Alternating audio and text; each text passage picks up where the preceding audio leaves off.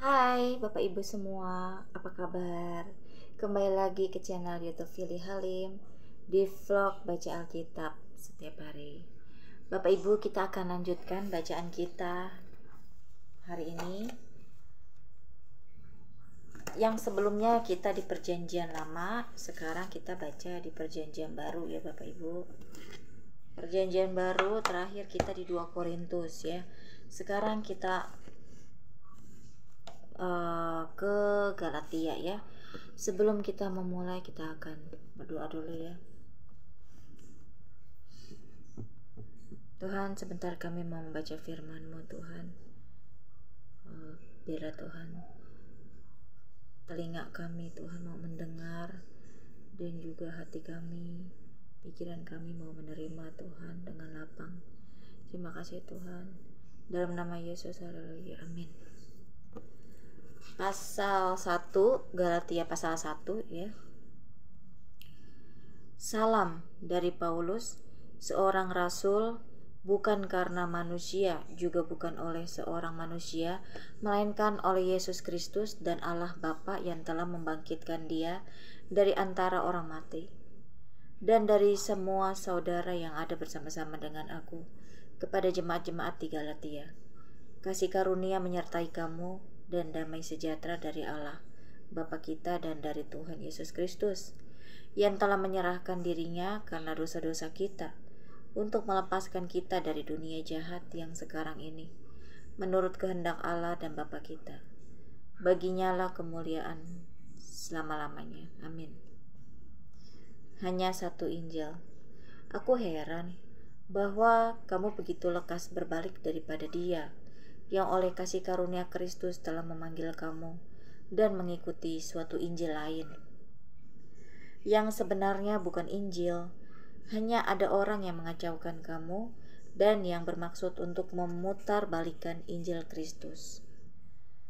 Tetapi sekalipun kami atau seorang malaikat dari surga yang memberitakan kepada kamu suatu Injil yang berbeda dengan Injil yang telah kami beritakan kepadamu, terkutuklah dia seperti yang telah kami katakan dahulu. Sekarang kukatakan sekali lagi, jikalau ada orang yang memberitakan kepadamu suatu Injil yang berbeda dengan apa yang telah kamu terima, terkutuklah dia. Jadi bagaimana sekarang? Adakah ku cari kesukaan manusia atau kesukaan Allah? Adakah ku coba berkenan kepada manusia? Sekiranya aku masih mau mencoba berkenan kepada manusia, maka aku bukanlah hamba Kristus. Bagaimana Paulus menjadi rasul? Sebab aku menegaskan kepadamu, saudara-saudara, bahwa Injil yang kuberitakan itu bukanlah Injil manusia, karena aku bukan menerimanya dari manusia, dan bukan manusia yang mengajarkannya kepadaku, tetapi aku menerimanya oleh penyataan Yesus Kristus sebab kamu telah mendengar tentang hidupku dahulu dalam agama Yahudi. Tanpa batas aku menganiaya jemaat Allah dan berurat dan berusaha membinasakannya. Dan di dalam agama Yahudi, aku jauh lebih maju dari banyak teman yang sebaya dengan aku di antara bangsaku. Sebagai orang yang sangat rajin memelihara adat istiadat nenek moyangku. Tetapi waktu ia yang telah memilih aku sejak kandungan ibuku dan memanggil aku oleh kasih karunia-Nya, berkenan menyatakan anaknya di dalam aku, supaya aku memberitakan dia di antara bangsa-bangsa bukan Yahudi, maka sesaat pun aku tidak minta pertimbangan kepada manusia. Juga aku tidak pergi ke Yerusalem mendapatkan mereka yang telah menjadi rasul sebelum aku, tetapi aku berangkat ke tanah Arab dan dari situ kembali lagi ke Damsik. Lalu tiga tahun kemudian aku pergi ke Yerusalem untuk mengunjungi Kefas dan aku menumpang lima belas hari di rumahnya. Tetapi aku tidak melihat seorang pun dari rasul-rasul yang lain kecuali Yakobus saudara Tuhan Yesus. Di hadapan Allah ku tegaskan, apa yang kutuliskan kepadamu ini benar, aku tidak berdusta. Kemudian aku pergi ke daerah-daerah Syria dan Kilikia, tetapi rupaku tetap tidak dikenal oleh jemaat-jemaat Kristus di Yudea. Mereka hanya mendengar bahwa ia yang dahulu menganiaya mereka, sekarang memberitakan iman yang pernah hendak dibinasakannya, dan mereka memuliakan Allah karena aku. Pasal 2 Paulus diakui oleh para rasul.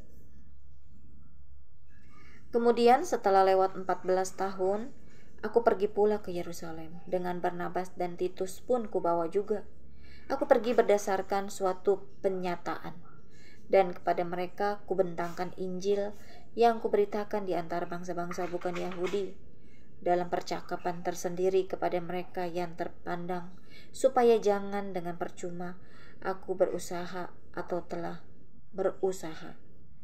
Tetapi kendati pun Titus yang bersama-sama dengan aku adalah seorang Yunani, namun ia tidak dipaksa untuk menyunatkan dirinya memang ada desakan memang saya ulang lagi ya ayat 4 ya memang ada desakan dari saudara-saudara palsu yang menyusup masuk yaitu mereka yang menyelundup ke dalam untuk menghadang kebebasan kita yang kita miliki di dalam Kristus Yesus.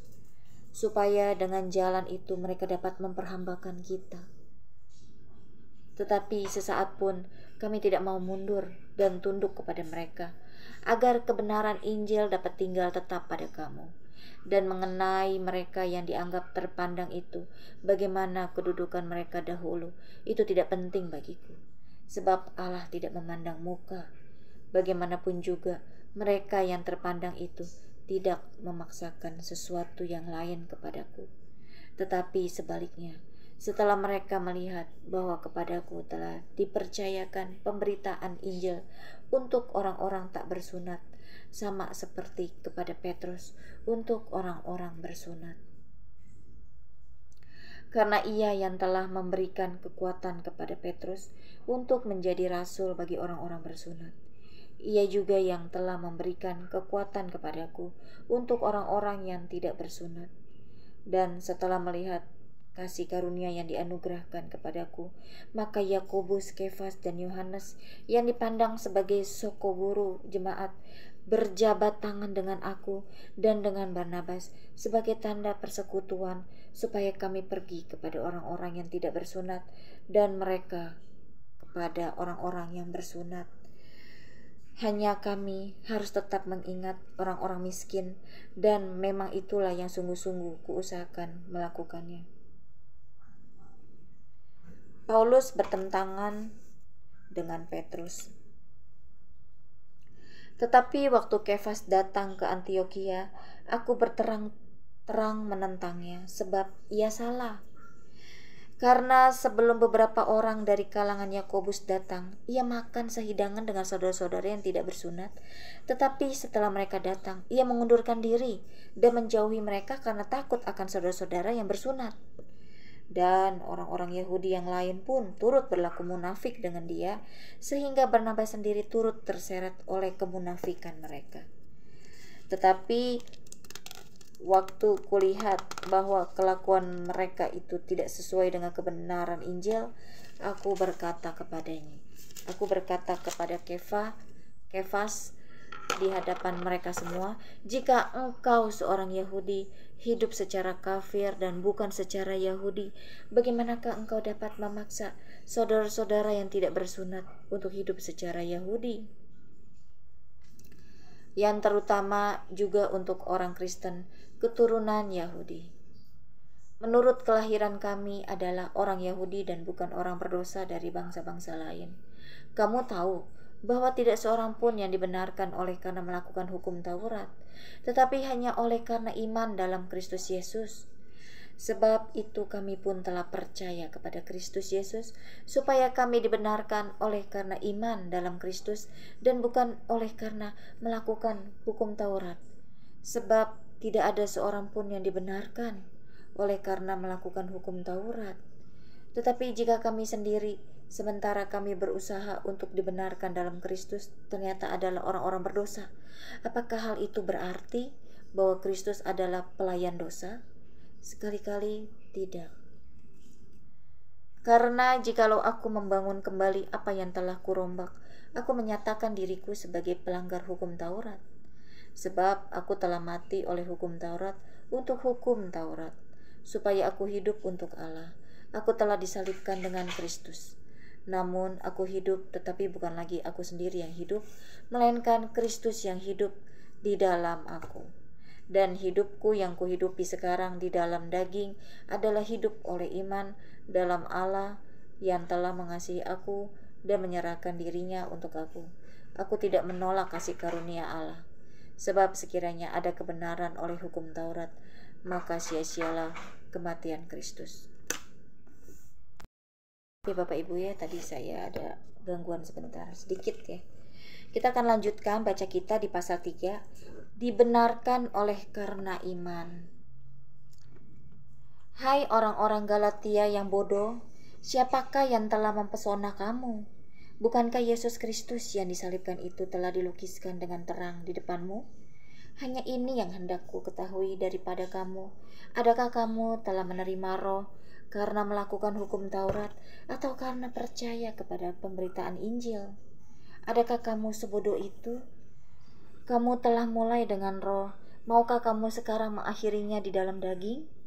Sia-siakah semua yang telah kamu alami sebanyak itu? Masakan sia-sia. Jadi bagaimana sekarang? Apakah ia yang menganugerahkan roh kepada kamu dengan berlimpah-limpah dan yang melakukan mujizat di antara kamu berbuat demikian karena kamu melakukan hukum Taurat atau karena kamu percaya kepada pemberitaan Injil? Secara itu jugalah Abraham percaya kepada Allah, maka Allah memperhitungkan hal itu kepadanya sebagai kebenaran. Jadi kamu lihat bahwa mereka yang hidup dari iman, mereka itulah anak-anak Abraham. Dan jika dan kitab suci dan kitab suci yang sebelumnya mengetahui bahwa Allah membenarkan orang-orang bukan Yahudi. Oleh, oleh karena iman telah terlebih dahulu memberitakan Injil kepada Abraham olehmu segala bangsa akan diberkati. Jadi mereka yang hidup dari iman merekalah yang diberkati bersama-sama dengan Abraham yang beriman itu. Karena semua orang yang hidup dari pekerjaan hukum Taurat berada di bawah kutuk Sebab ada tertulis, terkutuklah orang yang tidak setia melakukan segala sesuatu yang tertulis dalam kitab hukum Taurat. Dan bahwa tidak ada seorang yang dibenarkan di hadapan Allah karena melakukan hukum Taurat adalah jelas. Karena orang benar, karena, saya ulang lagi ya, karena orang yang benar akan hidup oleh iman. Tetapi dasar hukum Taurat bukanlah iman, melainkan siapa yang melakukannya akan hidup karenanya. Kristus telah menebus kita dari kutuk hukum Taurat dan ja sorry saya ulang lagi Bapak Ibu ya ayat 13 Kristus telah menebus kita dari kutuk hukum Taurat dengan jalan menjadi kutuk karena kita sebab ada tertulis terkutuklah orang yang digantung pada kayu salib. Yesus Kristus telah membuat ini supaya di dalam dia berkat Abraham sampai kepada bangsa-bangsa lain, sehingga oleh iman kita menerima roh yang telah dijanjikan itu. Hukum Taurat atau janji Saudara-saudara, baiklah kupergunakan suatu contoh dari hidup sehari-hari. Suatu wasiat yang telah disahkan, sekalipun ia dari manusia, tidak dapat dibatalkan atau ditambahi oleh seorang pun Adapun kepada Abraham diucapkan segala janji itu dan kepada keturunannya tidak dikatakan kepada keturunan-keturunannya. Seolah-olah dimaksud banyak orang tetapi hanya satu orang. Dan kepada keturunanmu yaitu Kristus. Maksudku ialah janji yang sebelumnya telah disahkan Allah tidak tidak dapat dibatalkan oleh hukum Taurat. Yang baru terbit 400 30 tahun kemudian sehingga janji itu hilang kekuatannya. Sebab jikalau apa yang ditentukan Allah berasal dari hukum Taurat, ia tidak berasal dari janji, tetapi justru oleh janji Allah telah menganugerahkan kasih karunia-Nya pada Abraham. Kalau demikian, apakah maksudnya hukum Taurat? Ia ditambahkan oleh karena pelanggaran-pelanggaran sampai datang keturunan yang dimaksud oleh janji itu dan ia sampaikan dengan perantaraan malaikat-malaikat ke dalam tangan seorang pengantara seorang pengantara bukan hanya mewakili satu orang saja sedangkan Allah adalah satu Kalau demikian, bertentangankah hukum Taurat dengan janji-janji Allah? Sekali-kali no. Sebab andai kata hukum Taurat diberikan sebagai sesuatu yang dapat menghidupkan, maka memang kebenaran berasal dari hukum Taurat. Tetapi kitab suci telah mengurung segala sesuatu di bawah kekuasaan dosa, supaya oleh karena iman dalam Yesus Kristus, janji itu diberikan kepada mereka yang percaya. Sebelum iman itu datang, kita berada di bawah pengawalan hukum Taurat dan dikurung sampai iman itu telah dinyatakan. Jadi hukum Taurat adalah penuntun bagi kita sampai Kristus datang, supaya kita dibenarkan karena iman. Sekarang iman itu telah datang. Karena itu kita tidak berada lagi di bawah pengawasan penuntun. Sebab kamu semua adalah anak-anak Allah karena iman di dalam Kristus Yesus. Karena kamu semua yang dibaptis dalam Kristus telah mengenakan Kristus. Dalam hal ini tidak ada orang Yahudi atau orang Yunani, tidak ada hamba atau orang merdeka, tidak ada laki-laki atau perempuan, karena kamu semua adalah satu di dalam Kristus Yesus. Dan jikalau kamu adalah milik Kristus, maka kamu juga adalah keturunan Abraham dan berhak menerima janji Allah. Amin, Bapak Ibu Saudari ya. Kita sudah selesai baca Alkitab kita sampai pasal 3 ya. Karena ini di Galatia hanya sampai pasal 6, jadi kita tiga pasal tiga pasal ya. Besok kita lanjutkan pasal 4 sampai pasal 6 ya. Kita mau tutup dalam doa. kita tutup dalam doa ya Bapak Ibu ya Tuhan terima kasih buat firman-Mu ini Tuhan Tuhan Yesus kami sangat rindu Tuhan agar kami memiliki iman Tuhan iman yang begitu percaya kepada Engkau Tuhan. Menaruh sepenuhnya Tuhan dalam segala hal apa yang kami alami saat ini atau apa yang akan datang ke depan Tuhan yang akan terjadi dalam hidup kami. Agar kami memiliki iman Tuhan, percaya sepenuhnya kepada Engkau Tuhan, bukan lagi dengan pikiran atau perasaan atau dengan hikmat kami sendiri Tuhan, dengan logika kami sendiri, melainkan kami memiliki iman yang percaya Tuhan kepada Engkau bahwa Engkau bahwa Engkau baik Tuhan dalam melakukan segala perkara yang Kau izinkan dalam hidup kami sehingga kami tetap memiliki rasa bersyukur apa pun itu Tuhan yang sedang kami alami yang kau izinkan baik yang pahit maupun yang manis. Karena engkau mengizinkan segala hal yang terjadi dalam hidup kami bukan hanya yang manis melainkan bisa jadi yang pahit kau izinkan dalam hidup kami tetapi semua itu indah pada waktunya karena engkau ingin agar kami menjadi dewasa dan bertumbuh di dalam iman dan dan mengandal dan mengandalkan Engkau dengan sepenuh hati, bukan lagi dengan kekuatan kami sendiri. Terima kasih Tuhan buat firman-Mu ini Tuhan. Engkau telah mengingatkan kami agar kami terus percaya tetapi kalau kami bukan dari Engkau Tuhan, kami tidak bisa Tuhan. Kami mungkin tidak mampu untuk memiliki hati yang percaya apa pun di dalam hal yang kami hadapi maupun perkara yang akan kami hadapi. Terima kasih Tuhan, berkati setiap kami yang sakit Kau berikan penghiburan, Kau berikan kesembuhan, Kau berikan kekuatan dan juga Kau berikan kecukupan uh, dananya dan juga kau berikan uh, mujizat Tuhan terjadi dalam hidup mereka Tuhan. Terima kasih Tuhan. Haleluya. Amin.